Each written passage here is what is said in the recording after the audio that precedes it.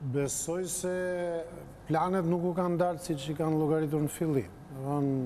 është menduar ndofta që do të ishte një një lloj shëtitje hyrja e ushtrisë ruse në Ukrainë. Fakti që ushtria ukrainase është trajnuar mirë vitet e fundit, ka marrë asistencë, Natyrisht ka marrë dhe pajisje apo armatime, edhe, edhe tani aktualisht është duke u furnizuar nga partnerë të ndryshëm.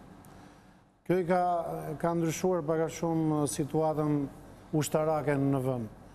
Megjithatë kuptohet që Rusia ka epërsi Ka epërsi të dukshme në raport me Ukrainën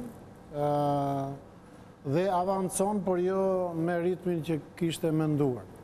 Ndërkohë kuptohet që ky ritëm jo edhe aq i kënaqshëm, po themi, i avancimit ushtarak, po shoqërohet dhe me bombardime, pra duke terrorizuar popullsinë civile, sepse goditja e objekteve civile hyn në strategjinë e nënshtrimit, po themi, të të popullatës në përgjithësi. Dukej sikur kishte një kujdes në ditët e para që të mos të Në moment që dorëzohet shpirti, dorëzohesh dhe fizikisht.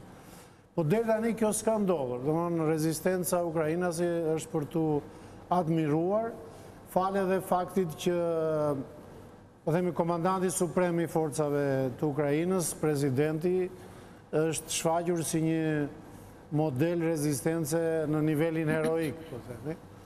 Edhe në atë që quhet luftë në rrjete sociale, në aspektin mediatik... Lufta mediatike. Ai ka qenë në lartësinë e duhur dhe vazhdon mbetet në lartësinë e duhur.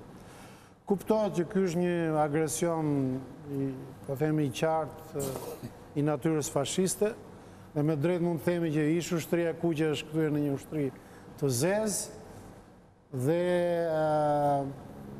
kemi të bëjmë me një me një akt që është jo vetëm i papranueshëm, po besoj që do të ketë shumë pasoja në të ardhmen.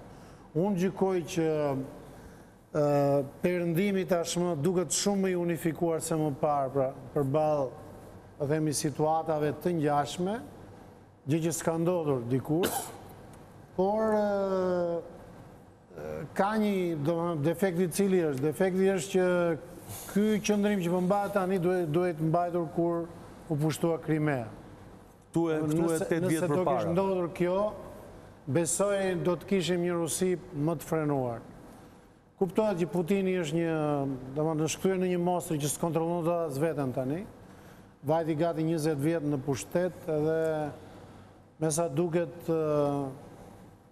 Truri i tij tani është i është i fantaksur, domethënë ai me sa duket mendon se po do hyjë në historinë ruse për ta zgjeruar Rusinë në nivelet e ose në hapësirën e ish-Bashkimit Sovjetik.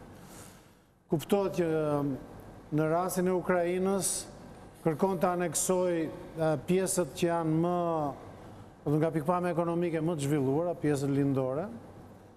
dhe pastaj të instalojë një qeveri që të jetë pro tij, dhe pastaj Ukraina në vetvete të kthehet në një